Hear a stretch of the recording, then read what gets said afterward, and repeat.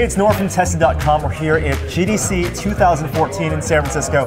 Once again, meeting with Oculus. Nate Mitchell, VP of Product at Oculus. You guys have new hardware to announce. We do. Oh my goodness, it's Development Kit 2. Yes. The second piece of hardware that people can pre-order. Pre-order today. Pre-order today. Absolutely. So we saw you guys at CES. You guys were demoing a prototype you called Crystal Cove. Yep. And a lot of that hardware is making its way into DK2. Let's give people a refresher of what was in Crystal Cove and how that's transitioned over in the few months since. In Crystal Cove and in the second development kit, we have uh, the, the new key features are really positional tracking low, and low persistence. So positional tracking allows you to move in six degrees of freedom, much more naturally. Translation movement forward, lean forward, forward, lean back, you know, tilt around corners, that sort of thing. Low persistence display. It's a low persistence OLED display, so it is same resolution as Crystal Cove, but higher resolution than the original dev kit. Which is the resolution is of of, Crystal, of, uh, of DK2. Development Kit 2 is 1920 by 1080. 19, it's a 1920 by 1080. Yes. Five inch display. Roughly. Roughly five inch display. Yep. And you're confirming AMOLED. Yes.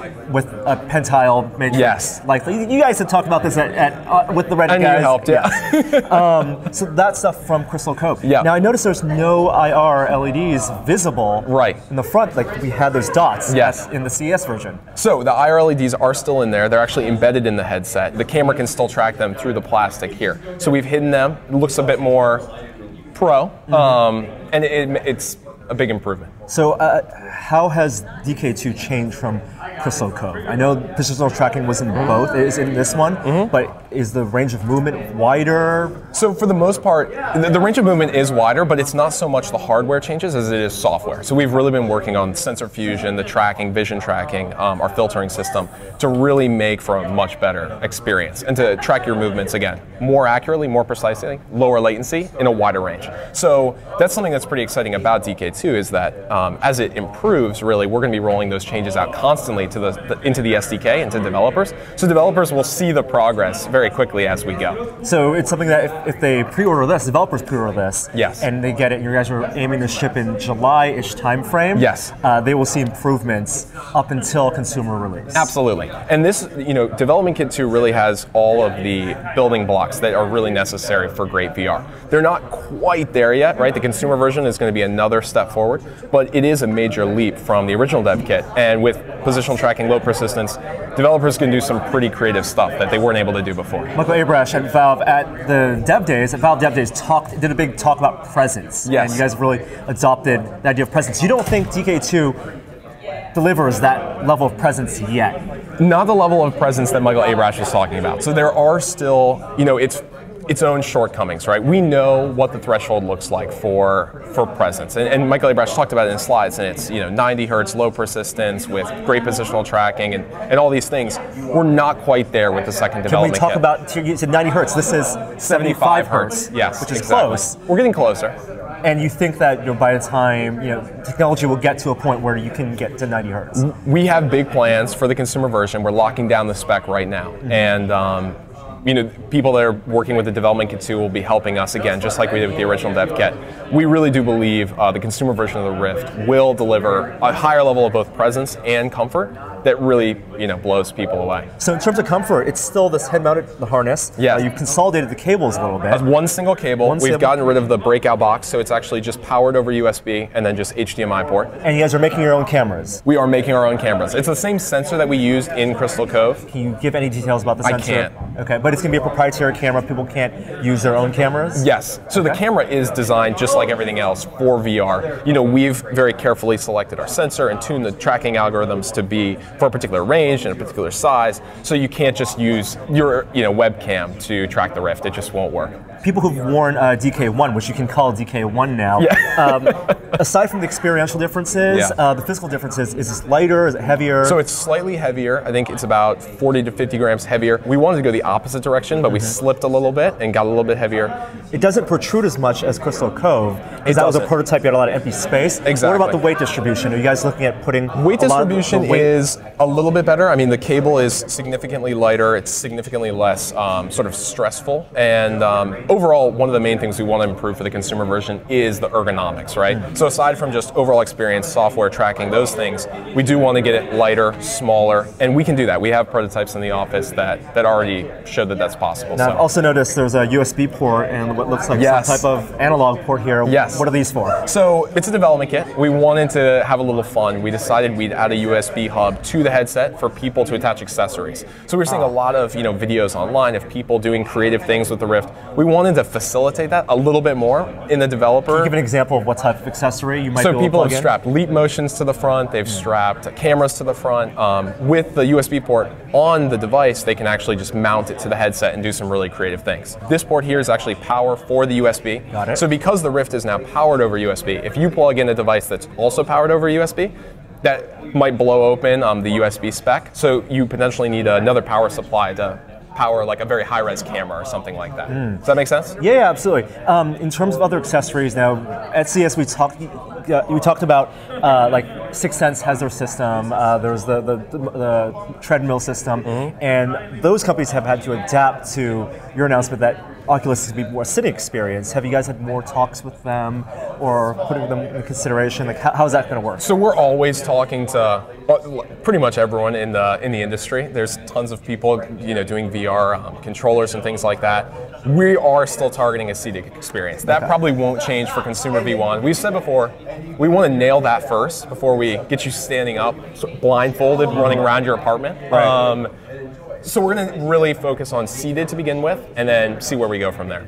And the demo you guys were showing here, the new demo that you've, tech demo that you've worked with Epic, is crazy because you see your virtual body sitting uh, on a couch. Yeah. And that really made me feel really weird. Like you have this like, out of body experience. You could see this controller. It's that it's that taste of presence, right? Yeah. It's like almost you're in this other space. Yeah. So we developed Couch Knights. It's a tech demo using UE4. We, we worked on it with uh, the team at Epic. They did the majority of the work. Great team there. It's a two-player experience. You actually see the other player's avatar moving through space. So mm-hmm. it has a bit of that positional tracking. And then we really wanted to have fun with sort of juxtaposing like, fantasy and reality. So you're right. in this room that looks pretty realistic, but then these two colorful, cartoony knights drop onto the table, and you kind of duke it out. You can jump on each other's legs and leave the table and actually walk behind players. Exactly. Making use of the, the head turning. Exactly. People can pre-order DK2 today but you're telling consumers not to buy it. So it, has got that tells me that this consumer version is going to be another step ahead. Absolutely. Um, how far ahead in terms of researching hardware and working with suppliers do you have to be in terms of finding the right panels and, and the right technologies to put in the consumer version? We're in a great spot for the consumer version. We're locking down the spec right now. Um, we, we have a lot of improvements, like you've seen, that we want to make pretty much across the board. And we're going to get there very, very quickly. And you guys will be ready to produce at scale? That's a great question. We'll see. It depends on what the scale, sort of the interest is from the community. We probably won't start out producing 10 million or 100 million units. Mm-hmm. So we'll start with, you know, some number of units for the consumer version. We'll talk about that more as we get there. And uh, hopefully, you know, consumers are excited as we are about the future of VR. So we're GDC, so we got to talk about games. You guys sure. aren't announcing any games, but you're talking with developers. Mm-hmm. Uh, what's that process like right now? And even outside of games in terms of multimedia experiences. You guys were at Sundance and South by Southwest. Yeah, so we have a ton of developers creating really unique content for the Rift. Um, we announced uh, our publishing initiative. I think we talked about that a bit at GDC or CES with Eve Valkyrie. We are publishing a number of other made for VR experiences that we haven't announced yet. More news on that front pretty soon. Um, there's also a number of developers doing really creative things outside the games industry in film and music and things like that. At Sundance, we showed Chris Milk's um, Sound and Vision experience, which is a Beck concert. It's a 360 video experience where you're actually on stage with Beck. And that, for that, audio is going to be really important. So, so how he, are you thinking about audio and integration with Absolutely. So he actually he recorded that whole demo. Uh, it's all binaural audio, and it's this incredible. You know, you close your eyes, and Beck is right here next to you, and you turn your head, and he just stays locked right there, and it's just an amazing experience. To give people an idea of what that means, there's two microphones where your ears would be. Yes. So as you turn, as, as music plays around you, you get it's positional. As well, yes. exactly, and it sounds exactly like it hits the human ear. Um, so we are definitely researching audio. Audio is super critical for great virtual reality, and we definitely want to we want to address that so that users have a great experience on the audio side. It really does fundamentally improve the experience. Does that feel like something you have to control on your end, or is that something that you would want to be open to, to working with partners on? We're open absolutely to working with partners on everything. Uh, audio is still the jury's still out on audio. Okay. We've been talking to a lot of great people out there. There's a ton of great audio companies. Um, so it's just a matter of finding what's the right fit for VR and what's the right fit, uh, you know, for the Rift. So it's Tuesday morning at GDC. Other announcements maybe haven't been made, but there's a lot of rumors that other people are interested in virtual reality yeah. spaces. Um, if Sony, for example, announces virtual reality and is, is luring developers, how would you work with those developers to get their games on Oculus?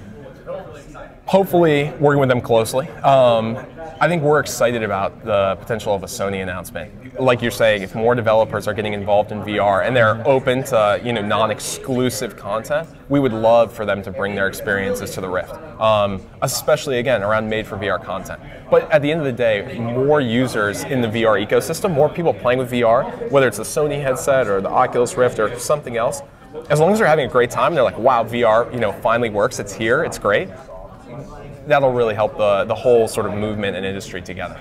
All right, thank you so much, Nate, for chatting with us Absolutely. at GDC. Again, DK2 is available for pre-order now, $350, and you guys are hoping to ship in July. Absolutely. Will be a first come, first serve? Yes. Okay, so if people want it, they'll have to pre-order now. But again, not for consumers. Yes, consumers should wait. Uh, it really will be worth the wait. It's going to be, again, another major step forward. Awesome, thanks. And I'm Norm from GDC 2014 here with Oculus. Have more stuff on Tested.com. Subscribe to our YouTube channel. We'll catch you guys next time. Bye. All right, so candid uh, feedback time. What do we think? Um, it, it's really good.